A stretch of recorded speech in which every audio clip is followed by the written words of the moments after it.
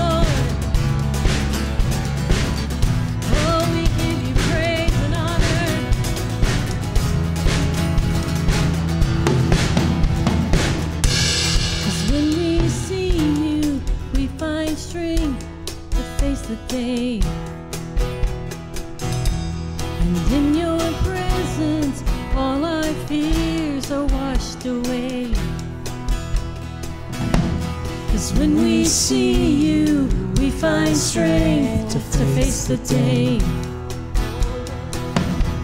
And in your presence, all our fears are washed away. They're washed away. Hosanna, Hosanna, and you are the God who saves us. You're worthy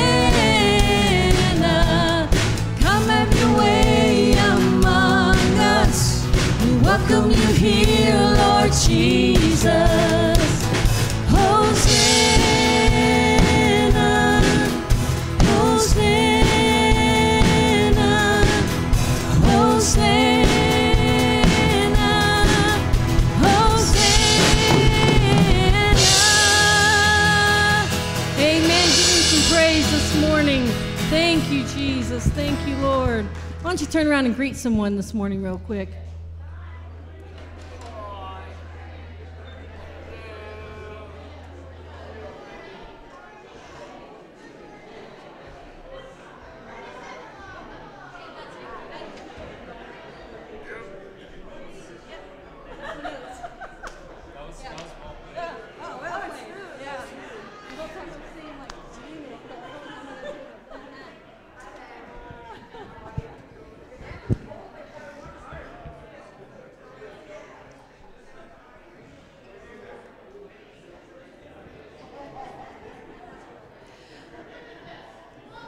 I'd like to read this morning Psalms 103. It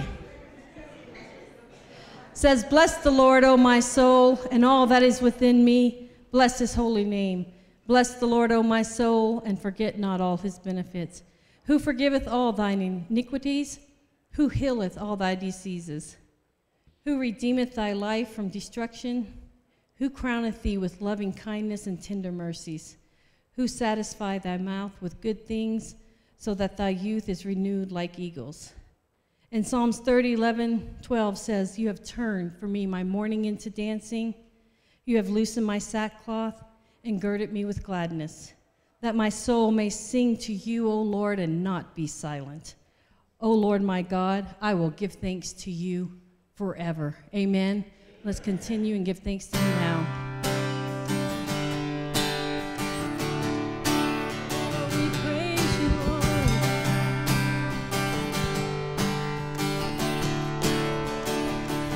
Bless the Lord, oh my soul, oh my soul.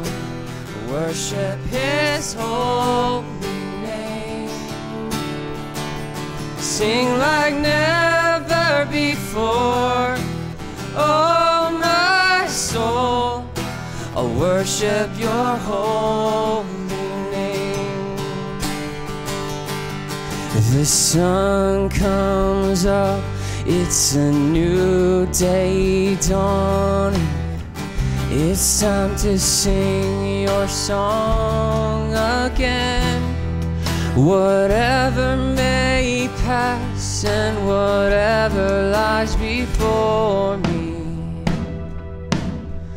Let me be singing when the evening comes. Sing it out, bless the Lord, bless the Lord, oh my soul, oh my soul. Worship His holy name. Sing like never before, oh my soul. I worship your holy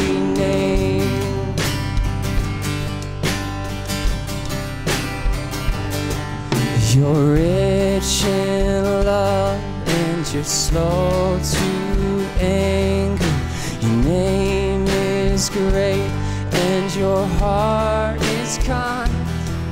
For all your goodness, I will keep on singing.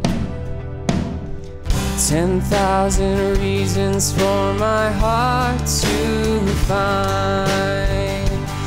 Bless the Lord, oh my soul, oh my soul. Worship His holy name. Sing like never before. Oh, my soul, I worship your holy name. And on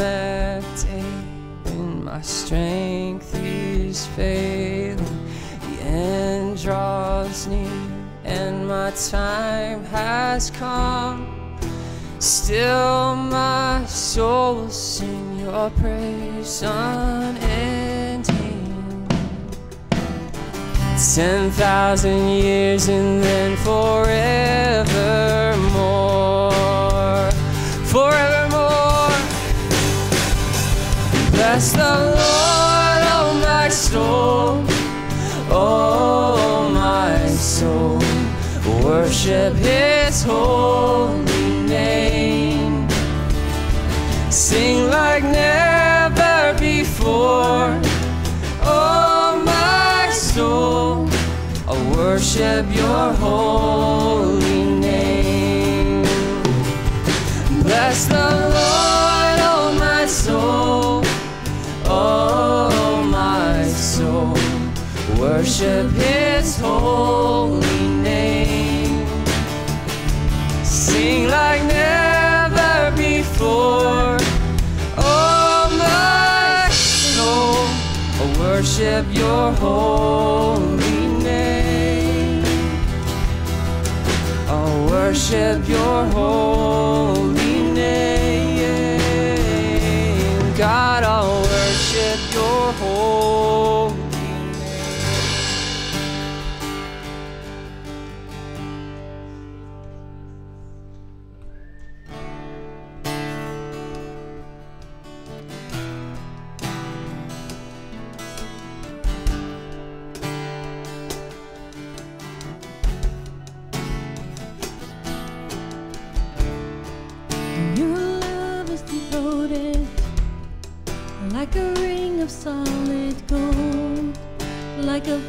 that is tested, like a covenant of old.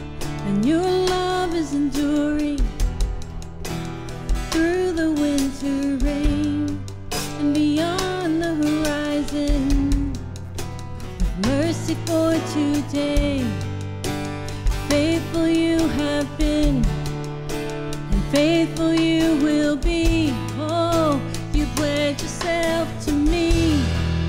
And it's why I sing your praise will ever be on my lips, ever be on my lips. Your praise will ever be on my lips, ever be on my lips. Your praise will ever be on oh yes ever be on my lips your praise will ever be on my lips ever be on my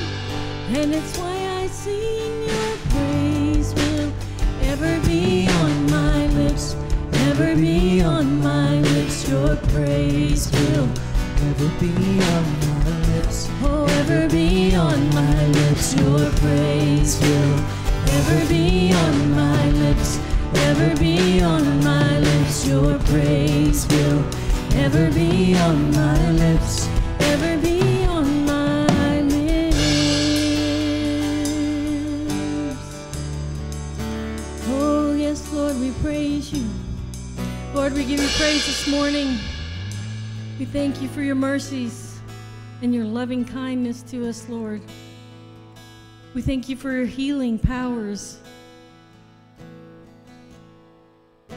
We thank you for your arms that wrap around us, Lord. And I pray that we wake up every day with praise on our lips.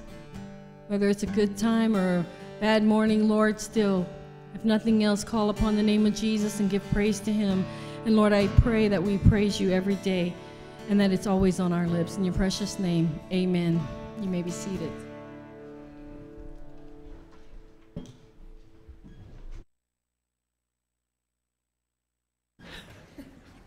Tana. Tana.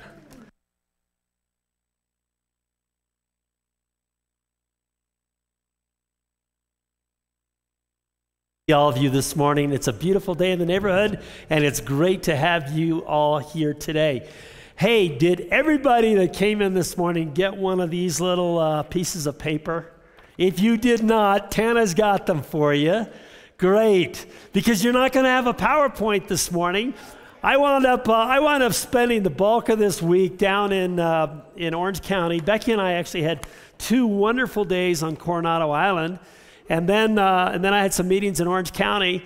And um, anyway, I got home. I got back from DIA. I landed at nine o'clock last night. I never got a PowerPoint together, but I got this together. So it'll just have to do today. But um, today we're going to talk about a really important topic. So I was reading my quiet time back on Monday in Colossians chapter 4, verse 6, where Paul says, Let your conversation always be full of grace, seasoned with salt, that you might be able to give an answer to everyone. And it was that first part of the phrase that hit me. Let your conversation be always filled with grace. And so, as I was thinking about that passage and kind of reflecting back on my own life and all the years of being a leader in ministry and serving as a pastor, serving on mission boards, um, I've had to say a lot of things that ultimately hurt a lot of people along the way. And so I started making a list of the people I've hurt and uh, with my words. And I remember back to the very first church I was in, young pastor in my 20s. And um, I became a pastor, lead pastor, when I was 21 years old. I didn't have any idea what I was doing. But at any rate, there was a couple that started coming to our church. And anyway, they, they, they disappeared for three weeks. And I was worried about them. And so I jumped in my car after the service. And as I was driving on, on, on home after church, I drove by their house, and he was out mowing the lawn. And I, I can remember stopping my car, and I walked up to him. And I remember it was like it was yesterday. I, I don't know what came over me, but I lit into the guy. And I was like, this is ridiculous. And I said, you know, how come you weren't in church and you're mowing your lawn? And anyway, I laced into him and it was really, really dumb. And I wound up having to apologize to him profusely, but you know, sometimes the toothpaste gets out of the tube and it's really hard to put it back in. And you know, he never came back to church. His wife never came back to church. and, and for the life of me, I don't know. You know, I don't know if they're still walking with God or not. But I look back and I think, you know, I bet they had the opportunity over the years to tell a lot of people about that crazy pastor who said something so hurtful to them. Now, there have been other times when I've said things that, you know, I, I didn't mean to hurt somebody, but I had to say something really, really hard. And it was necessary. And, you know, as a, as a Christian leader, uh, both as a pastor and as a CEO of a mission agency, I've had to fire people. And I don't like firing people. It's really, really hard because you got to say really hard things. And I don't want to hurt people, but I know that I have to say these things. But to say them in a way that is, that is constructive and helpful is really difficult. And I'm thankful because in some cases it turned out real good. I was driving along in a van with a guy one time in Thailand, And uh, we're driving along together, and there's another lady in the car, and the lady in the car knew the other guy that was in the van, and and she said, Well, who is this guy? And he, and he introduced me. And she said, Well, isn't that the guy that fired you? And, um, and he said, Yeah, he is the guy that fired him, but we're really good friends. And I realized, okay, chalk that one down for a win. That one worked out. But there have been plenty of other times. Although I fired another guy, and he still calls me on Father's Day, which is kind of odd. But uh, bottom line is, a lot of the times, um, I've had to say really, really hard things. And I don't intentionally want to hurt the person, but my words offended them and brought hurt into their lives. So I started making a list of you know, who have I offended over the years? And I thought it would be good to kind of get that list in front of me just to see if there's anything I need to do to, you know, to address some of those things. And I started making a list, and I was feeling pretty good about myself early in the week because I felt like, wow, I guess I've patched up pretty much most of these things, and I was feeling pretty good about it. And then I got a phone call on Friday.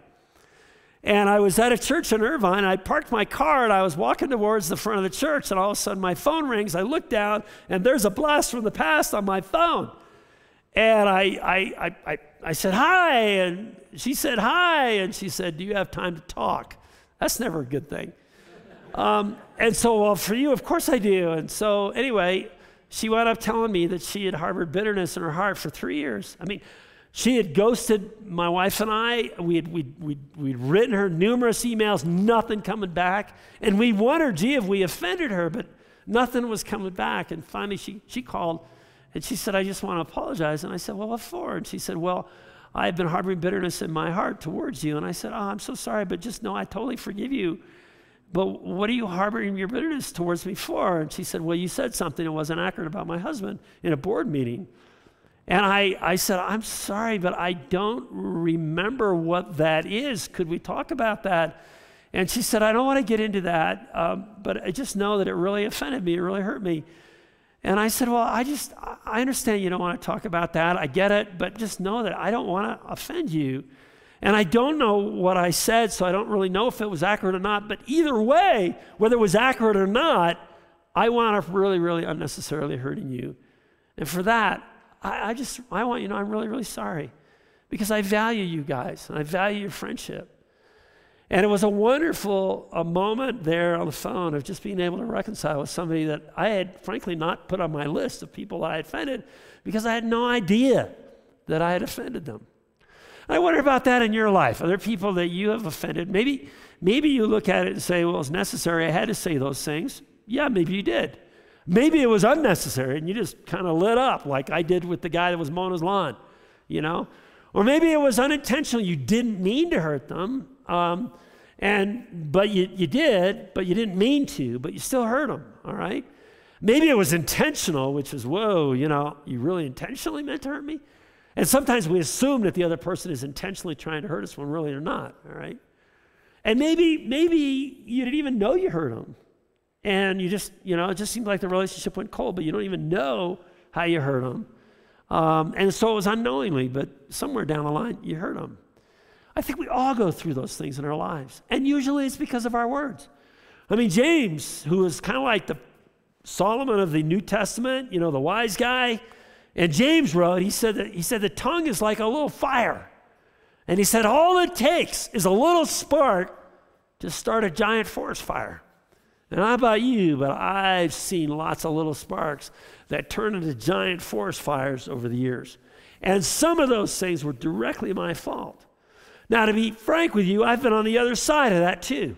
And I've had people say things about me or to me that I found very offensive. And how have I handled those things? Because, you know, you don't want to get in that place where the writer of Hebrews, when he talked about in Hebrews chapter 12, he said, Beware lest a root of bitterness spring up and corrupt the body. And the word root of bitterness there is the Greek word pikra.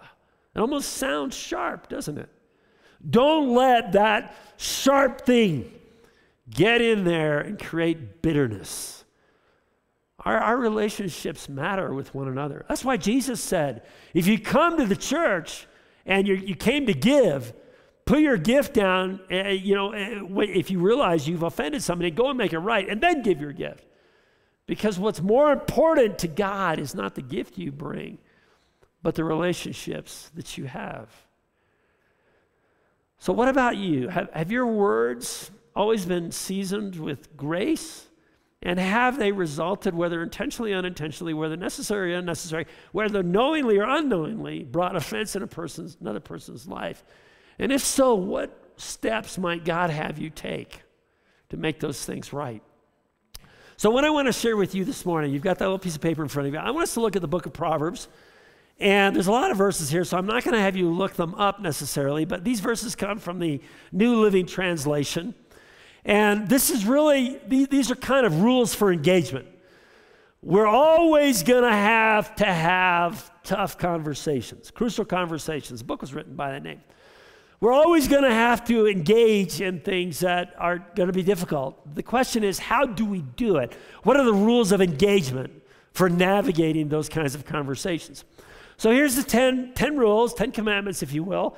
And these are kind of the rules of engagement that I've sought to work with in my life. And I've not done it perfectly, mind you, but I do kind of keep this list in front of me. In fact, my wife and I wrote a book together called Listen Well, Lead Better. Uh, it came out ironically in the very month COVID hit. And the main marketing of this book was an airport kiosk. You know those choice book things?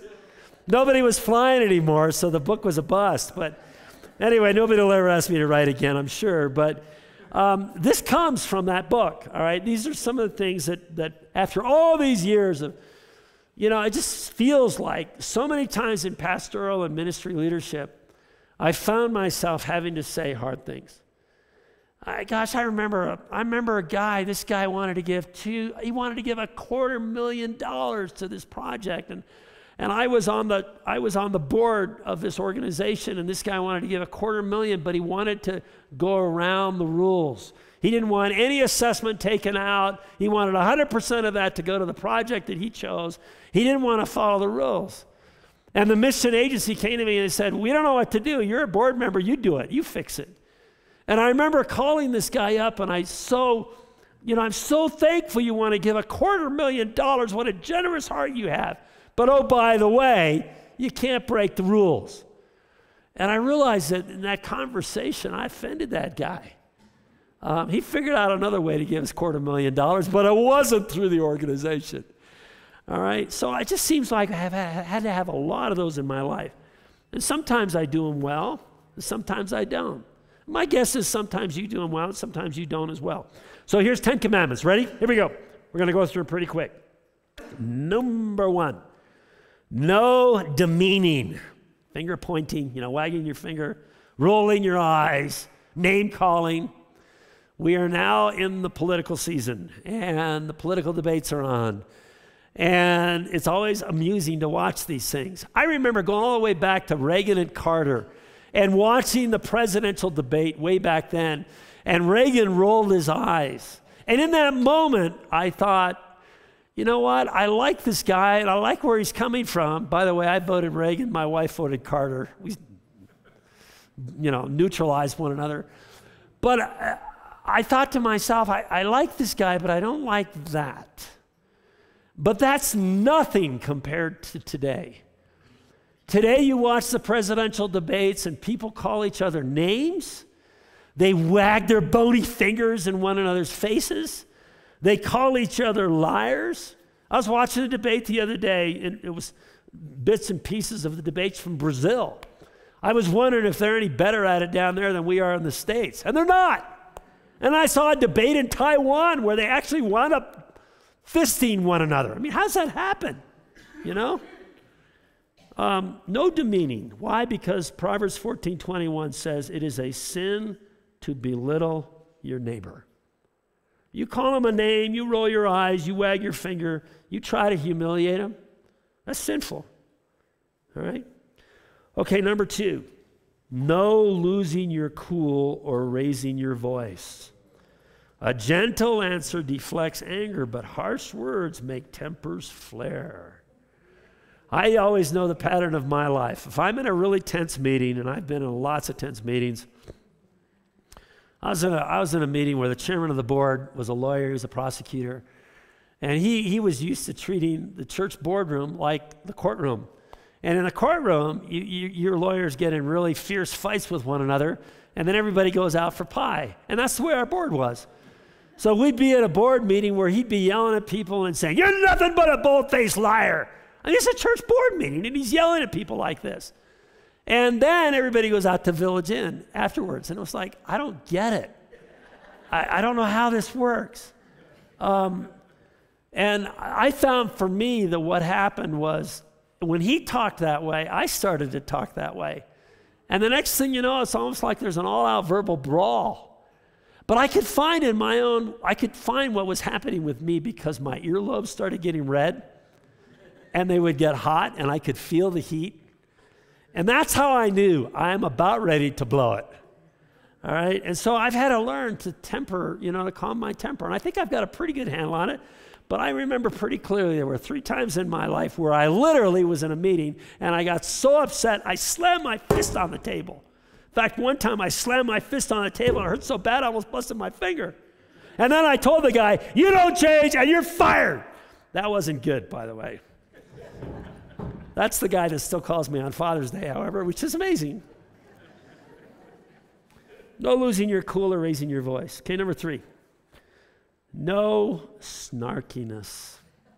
I didn't even know what snarkiness was. It just sounds like a bad word, but I looked it up in the dictionary to figure out what it means. It means to mock under your breath. So you say something that's just kind of yeah, sarcastic, you know, well, you get it, snarky. Don't do that. And don't engage in profanity.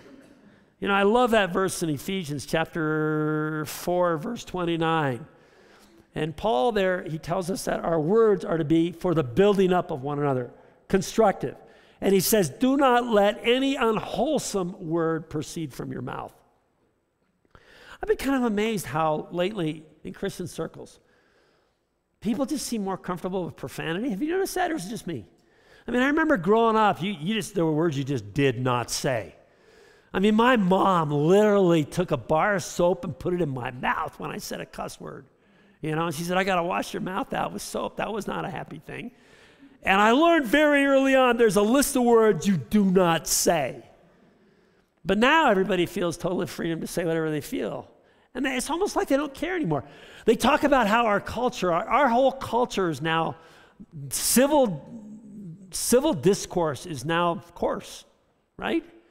I mean, people feel free to just throw profanity around. That's not, that's not good, and it's not becoming of a follower of Jesus. I've seen Christians using profanity on Facebook. It's like, why would you do that? You know, why, why, what's the point of that? Look, our, our conversation, the way we talk to one another, is to be always filled with grace. So, none of this snarkiness, sarcasm, profanity. Watch your tongue, keep your mouth shut, and you'll stay out of trouble. Good advice. Okay, number four, no misrepresentations, half truths or exaggerations. You know, somebody once said to me, Steve, never say never. All right, because whenever you use the word never or always, that's an exaggeration. Nothing's never and nothing's always. And when you use the, you know, you always or you never, that's an exaggeration. And then half truths. Isn't it amazing how in this political season people pull out a little soundbite that somebody said and they blow it up in this big thing and they say, This is where this guy stands. It's like, really? You don't know where he stands. You took it out of context, context and you twisted it around to make a whole big deal out of it. That's not truth. And yet it's everywhere. People are not trafficking in truth anymore. Your words can be twisted and taken out of context and bent into something you never even imagined, you never even thought. And somehow people feel a liberty to do that to one another. That is not the way of the body of Christ. We don't traffic in half truths. We don't misrepresent people. We don't exaggerate. Um, we're very guarded with those kinds of things because telling lies about others is as harmful as hitting them with an axe. Well, I didn't know there was an axe murderer in the Bible. All right? But that's what you're doing. You're hitting somebody with an axe when you, when you lie, when you, when you tell half truths. Paul said in Ephesians 4.25, um, he tells us there, um, what was his, his exact words were something along the lines, and do not lie to one another. And that includes all those things half truths, misrepresentations, deceptions, You name it. Okay, the next one. All right, you fill in the blank on this one. What do you think the word is? No blank the beans to those who don't need to know. Spilling the beans. You don't need to spill the beans. Now, we all want people to be on our side, right? I got in a mega church conflict one time. I mean, this was the stuff people write books about. So the chairman of the board and I, we were on opposite poles on everything. You know, we, were, we lived on different planets. We didn't agree on leadership, worship, preaching styles, nothing were we in agreement on. And I remember the first board meeting at this church. I'd been called as the pastor, and he'd been voted in as the chairman of the board. We were both new to our roles. And the very first board meeting, uh, I'm sitting there with our 15 elders, and he stands up at the end of the table. And he says, Pastor Harling, I came to the Lord in this church 30 years ago. It's the only church I've ever known. Pastors will come and go, and I'm going to be here a long time after you're gone. Holy smokes, that was a shot across the bow. Don't ever do that if you're an elder. So, right then, I knew this is going to be outwit, outlast, outplay. And seriously, it's exactly what it was. It was the most brutal thing ever. And so, what happened is, you know, uh, the rest of the board came to me at one point and they said, You got to hire a lawyer. And I says, What is this? I'm not going to sue the guy. I mean, they can't do that. And so we were at total odds, and he probably had a thousand people in the church on his side, and I probably had a thousand on my side. And then there were two or three thousand that were in the middle zone. And I'd get up to preach on Sunday morning, and I'd be looking at the congregation, Leonard, who's with me? Who's against me? Who's with, who's with him? Who's with me? That's not good for preaching, by the way, because you start hating people and you start, it's just not good. Um, and anyway, it just turned into this wild doggy dog. I mean, this is stuff, this is unbelievable stuff. And but it was it was bad because both of us we needed to build our cadre of defenders. Okay? So I had my guys that I'd go out and I'd say, You I can't believe what this guy's doing. You can't believe what he's saying. Unbelievable stuff. And and, you know, I need you to know me. I need you to have my back. And then I'd go to the next guy and I need you to have my back. And, you know, I need you to have my back. And, you know, so I had my little group, but he was out doing the same thing. And he had his little group. And I'd go between services on Sunday morning, between, because there were four different services, and I'd be going from one venue across the courtyard to the next. And between the services, there was, he'd have his little cadre out there with a little sign up sheet. And the little sign up sheet was, uh, you know, to recall the pastor. All right? So I'd be running between services, and it was the kind of thing where I'd, I'd preach in one service, and it was, we had the contemporary traditional thing, right?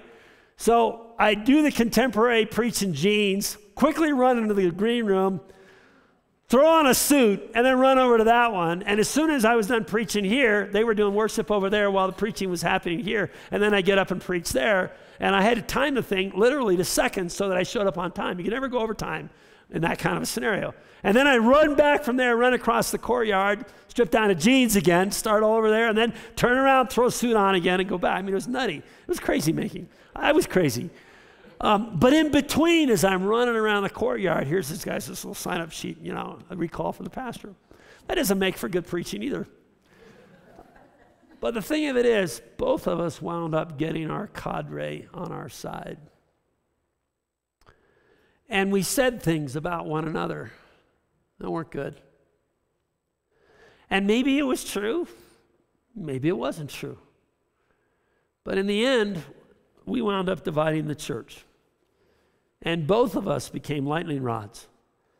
And I remember when the board finally stood up and said, enough already, and they, they, they, they decided they were going to dismiss the chairman of the board. And at the same time, they were looking at me and saying, Steve, you're such a lightning rod now. We don't know how you can shepherd our people anymore. And I wound up, uh, I wound up stepping down a couple months later. And, I, you know, I'll never know. Did I do the right thing stepping down? Should I have stayed? I don't know. I, I, that's one of those things that's in God's hand. Here's what I do know I hated church, and I hated God's people. And I had become party to this thing where we we, we just talk and talk and talk and talk. And if I've seen this once, I've seen this many times. Churches are kind of like that. I mean, we're like this extended family. We all talk to one another. We want to get people on our side because we need them to have our back or we need them to understand us. And we're afraid that if they hear something about us that's not good, they might get the wrong message. So therefore, we're going to get our message out and we're going to get it out first. And it's just this crazy making. Don't spill the beans to people that don't need to know. All right? Okay, here's the next one. All right, let's see if anybody can get number six. No, uh, blank, monopolizing the conversation this is a tough one.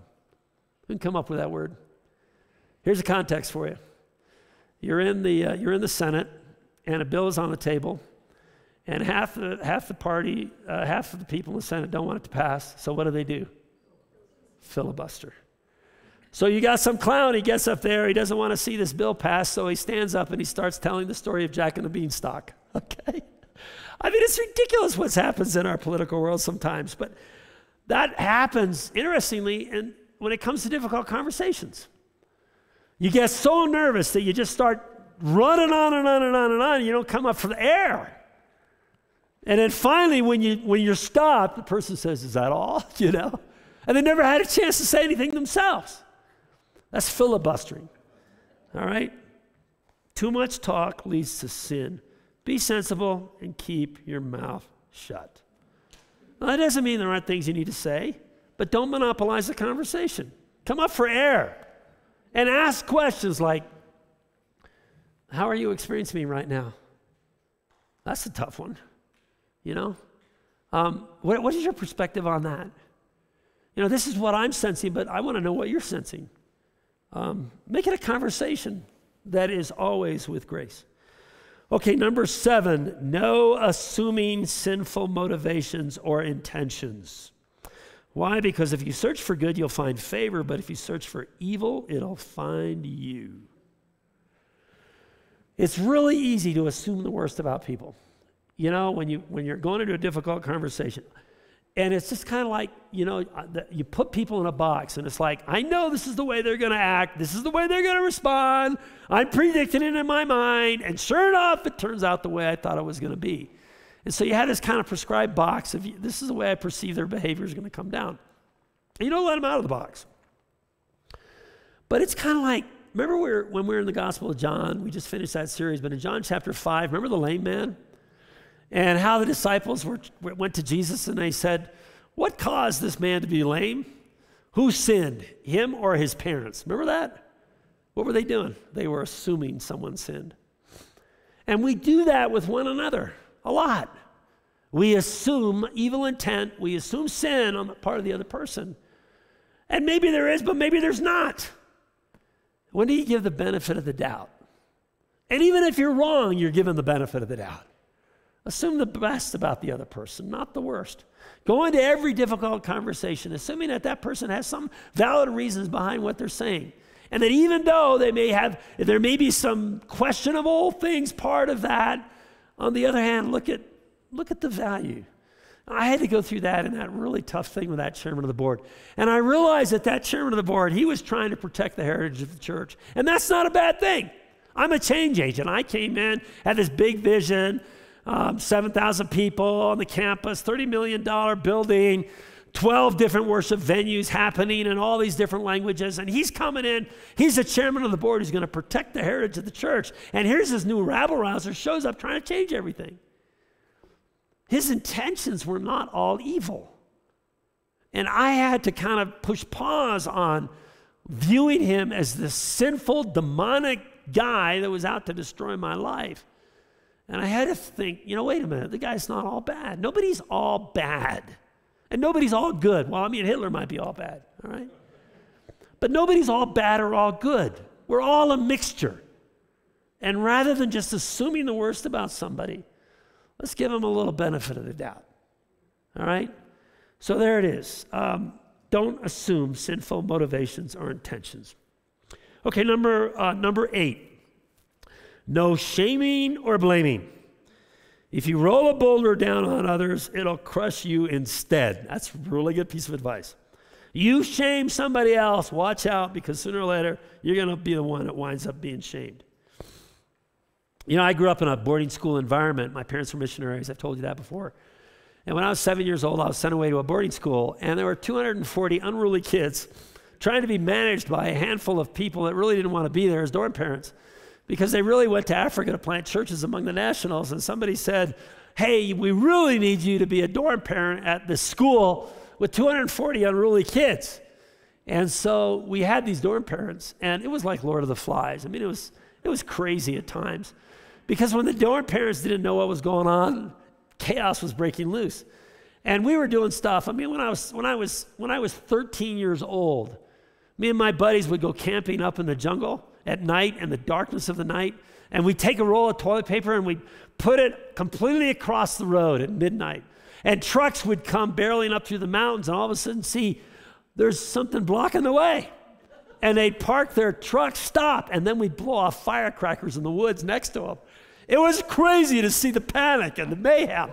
I was 13 years old. It was out of control. We were totally, it was not a good thing. But here's the thing about the boarding school. So while you had that little out of control behavior, then you have the behavior on campus. And what the dorm parents, some of them figured out, is that you can only use the three foot long rubber strap so much. And because we got, we got onto that, we figured that out. So we started taking rubber flip flops and we whip ourselves on the rear end, taking turns whipping each other to build up calluses. So when the real thing happened, it wouldn't destroy us. All right? I don't know why I'm telling you that story. and now I've completely lost where I was going. Get back to those notes. Oh, yes. I think where they, la- where they landed is that the best way to control the behavior of these unruly kids is to embarrass them in front of one another. And I can look vividly back in my mind to some of those moments where I would be called out in front of a great number of other kids and shamed and embarrassed in front of them. And you had kids that were struggling with wetting their bed, or kids that were missing mom and dad and crying at night, and they would be held up in front of people during lunchtime when 240 kids are eating their lunch, and they would be their names would come on the loudspeaker and things would be said about them to embarrass them into changing their behaviors. And I learned early on that the biggest fear of my life, in fact, Becky asked me this a few years ago. She said, Steve, what is the biggest fear of your life? And honestly, I thought, I don't think I have a lot of fears, but then I thought about it and I realized I really do. And what I'm afraid of more than anything else is being embarrassed. And I know looking back that that was embedded into my psyche. And so I avoid situations where it could result in me being embarrassed or shamed in front of other people. And I don't want to be guilty of doing that with the people I care about. And I don't want us to do it in the context of church. You know, my sister in law wound up um, going through a very difficult time where she left her husband and was living on the streets and became an alcoholic. And then in the middle of that, some cult uh, wooed her into their clan. And in that cult, they used shame as their number one behavior modification thing. And it was the, one of the biggest challenges of Becky and my of our lives to figure out how do we get our sister out of the cult. And uh, I don't want to go into that, that incredible story, but bottom line is that almost is a cultic behavior to conform people's behavior by shaming them. And I've seen that in church, and we don't want to be about that. Okay, the next one, number nine, no judging or jumping to conclusions, if you will, before the facts are all in. Spouting off before listening to the facts is both shameful and foolish read a, and there's another verse in Proverbs. I had a hard time deciding which one to use on this one because there's another verse in Proverbs that says that when somebody comes into the courtroom and you hear their case, it sounds compelling until the next person comes in and you hear the other side. And I think that there is kind of this tendency that we all have to hear a persuasive argument and then just jump to conclusions about it rather than waiting for all the facts to be on the table. There's a profound tendency that we have to do that. And we do that with one another as well. But what does it look like to just be willing to suspend judgment? Waiting until all the facts are in. Don't jump to conclusions. Um, I do that. I, people come to me and they say, you know, so and so said such and such, and it was so hurtful, it was so damaging, it was so out of, you know, just inappropriate, and they're so, and I, I tend to buy into that. Oh, yeah, I hear you. That was so bad of them to say that, and, you know, I can't believe that, but I'm, wait, what am I doing? And then I talk to those people, and I get a completely different side. And it's like, I don't even know who's, where's the truth here anymore.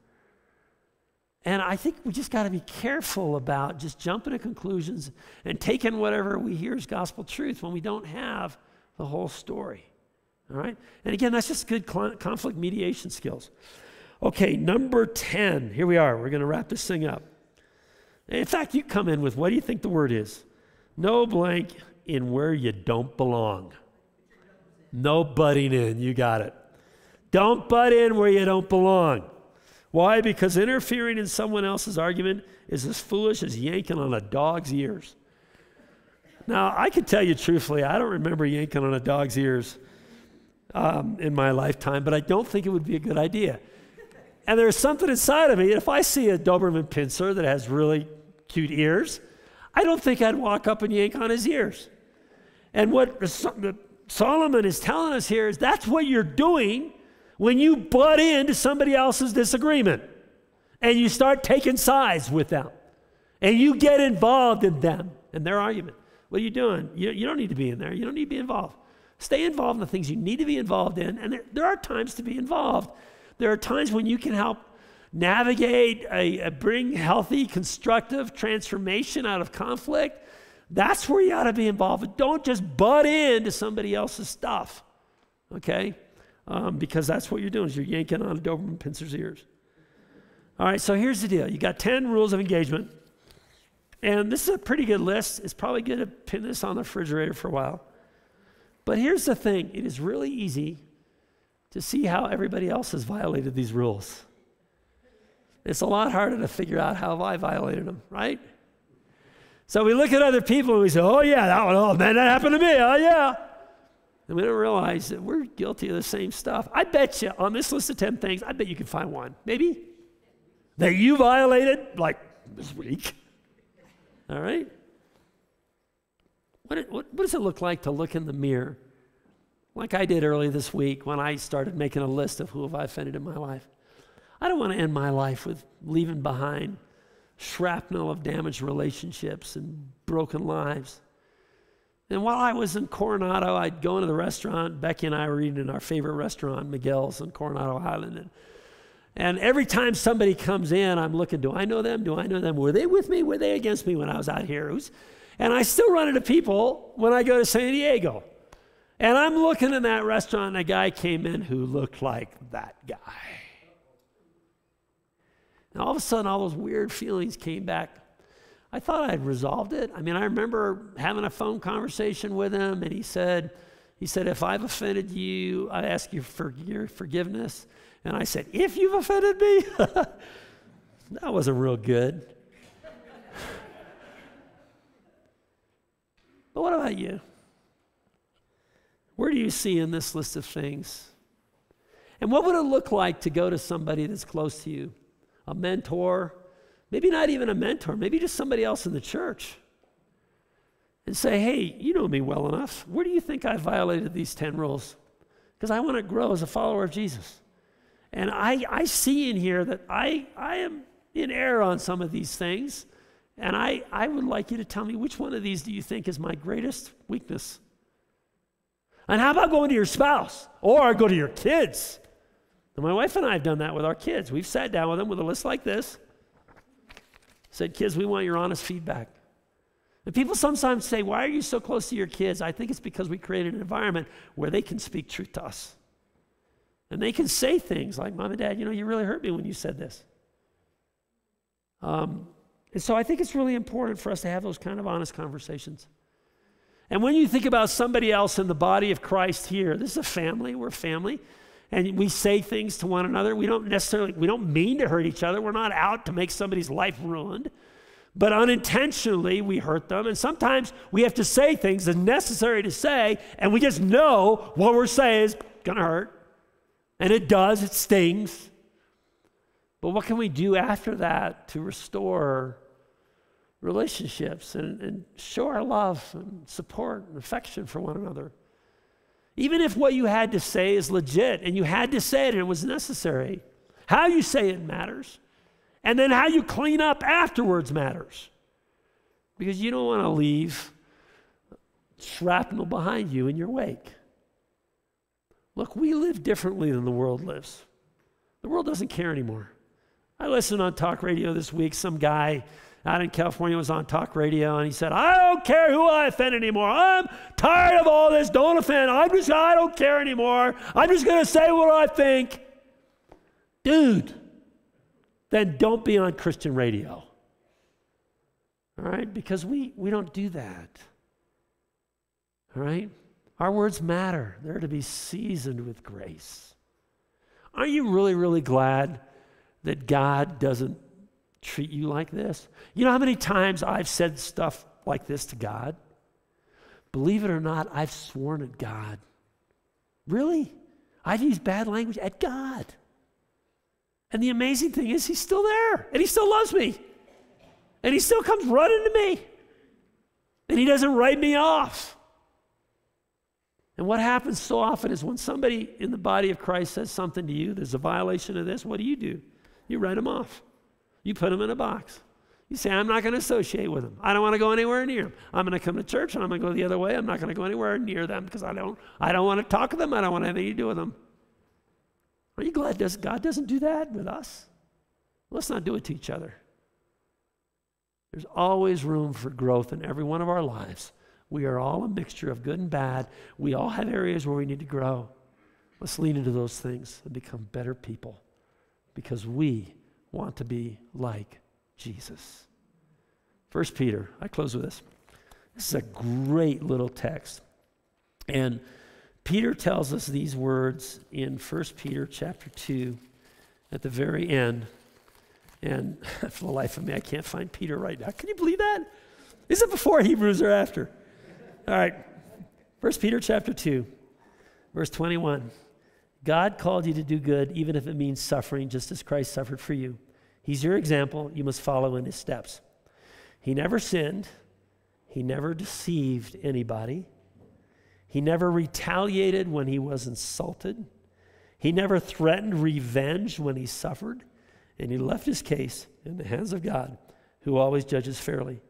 And he personally carried our sins in his body on the cross so that we can be dead to sin and live for what is right.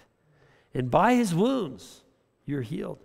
And once you were like sheep who wandered away, but now you've turned to your Savior, the guardian of your souls. Let's pray together. Lord, thank you for the example of our Savior Jesus, who though he was reviled, he reviled not again. Who though he had opportunities to say mean spirited things to mean spirited people, he didn't who, when he was misrepresented, when people shared half truths and exaggerations about him, he did not respond in like manner. We thank you for the example of our Savior, his patience, his love, his grace.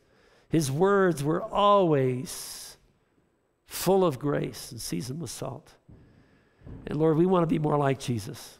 We want the world around us to look at us and say, wow, those people are so different. They're not like everybody else. They don't demean and humiliate. They don't wag their fingers and look down at people. And when they make mistakes, they go and make them right again. Amazing. They're so different. Lord, that's the kind of people we want to be. We want to be the people that the rest of the world looks to and says, wow, they're amazing in how they treat others. And Lord, we know that every one of us has growth in our lives. We need to grow and we're going to blow it and we, we're going to do it sometimes intentionally but most times unintentionally. Sometimes we're going to do it knowingly but other times unknowingly. And sometimes we're going to do it lord when it's unnecessary but other times when it is necessary. But in every case we pray that our words would be full of grace and that we would be the kind of people who value our relationships with one another. We ask this in jesus name. Amen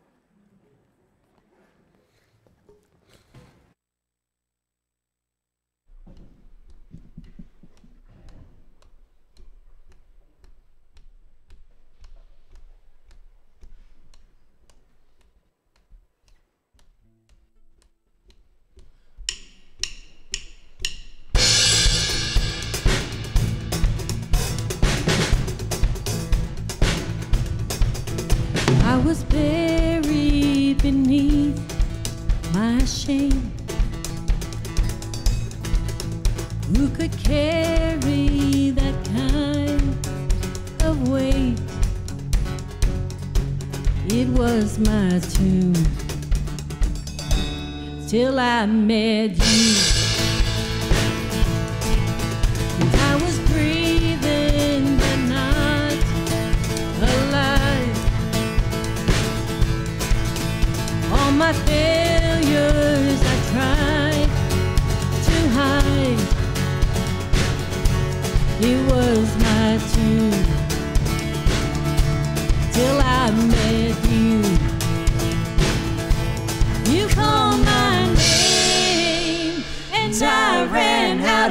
Of out of the darkness into your glorious day. You called my name, and I ran out of that grave, out of the darkness into your glorious day.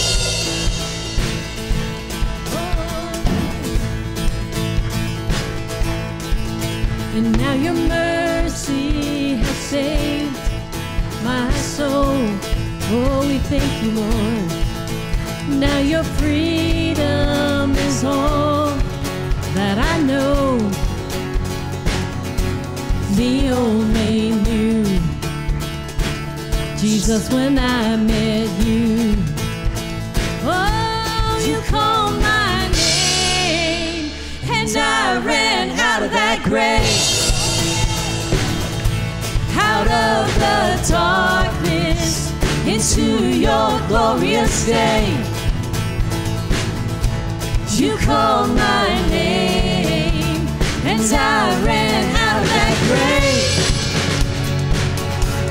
out of the darkness into your glorious day.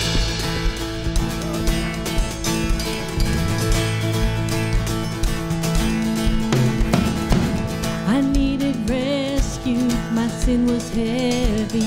The chains break at the weight of your glory. I needed shelter, I was an orphan. Now you call me a citizen of heaven. When I was broken, you were my healing. Now your love is the air that I'm breathing. I have a future, my eyes are open. Cause when you call my name, that grave. Oh. Out of the darkness into your glorious day. Oh, we thank you, Lord. You my name, and I ran out. Out of the darkness into your glorious day.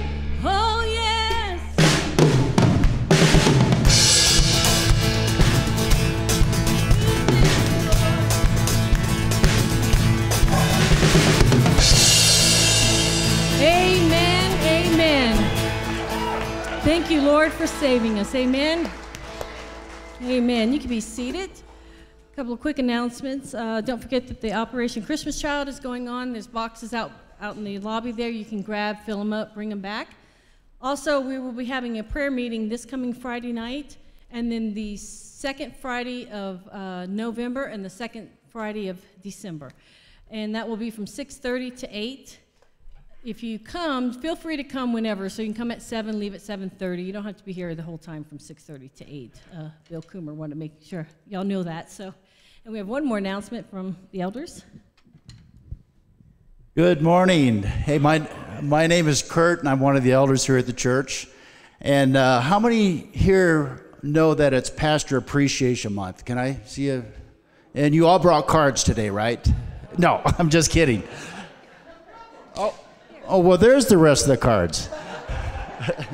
so we have you covered if you didn't bring a card. So, uh, Pastor Steve, could you come up here, please? Uh, on behalf of the elders and, and the worship team and the entire church, we just want to really give you a big, heartfelt thanks for all that you do here at the church. Yeah.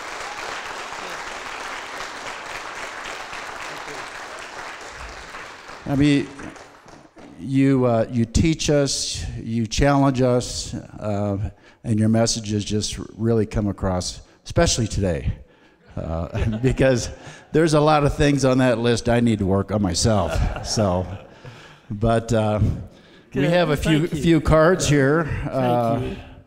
and thank you to Shelley and, and the Thanks, uh, and the staff for uh, for putting some of this stuff together. But uh, enjoy what's in Thank there. I Uh, will. I think there may be some gift cards, maybe a little bit of cash and checks. So oh, wow, good. so Cool. uh, Thanks. so thank you. Uh, you know, Steve's been here for at least two years. Oh, it seems like that, doesn't it? He uh, he he uh, filled the pul- the pulpit after Pastor Joshua and Yeah. and then uh, you know right before Matt and uh, and then uh, Yeah. we called him again. He's uh, you know thankfully he uh, he agreed to to fill the pulpit again during Yes, this transition. So I so appreciate all of you. I really, really do. You know, it's it's a busy season of our lives, but just knowing knowing you guys has been such a blessing for me. I wish Becky could be here every week. She's not able to because she serves on a church, on a staff of another church. Um, but I just appreciate all of you so very much. I'll miss you next week. I've got, uh, I'll be speaking at a conference in uh, Phoenix next Friday, Saturday, and Sunday. And then the week after that, I'm actually speaking at a conference in Louisville. So I'll miss you then. But then I will be back in November, I think 11th or something like that. So hopefully you got somebody covering for us those weeks. yeah. Either that or Yeah. you're doing a problem. yeah yeah there has been uh, a Sunday or two where I kind of waited to Yeah. the last minute, but but yes yeah we we Good. we have you covered for Ah, good, for good, next good, Sunday. So uh, okay. Thank you all so very, very much. I appreciate you and love you. Thank yeah, you. thank you, Steve. Thanks, buddy. All right. Well, let me close in a word of prayer, and uh, we can uh, get going and and uh, get on our way home and whatever else we have planned this afternoon. So, dear gracious Heavenly Father, thank you, Lord, for guiding us and leading us. I pray, Father, that we would seek you this week with all of our hearts. Uh, work on our lives as far as uh, uh, rules of engagement. Uh, thank you, Lord, for the message today. I just pray, Father, that we be a church full of love and encouragement for one another. Uh, forgive us for the sins that we've uh, we've had in the past, and uh, just lead us in the direction that you'd have us to go. Uh, be with the search team uh, as we're interviewing one more candidate this afternoon, and just go with us um, this day and the rest of the week. I pray in Jesus' name, Amen. Have a good Sunday. Thank you.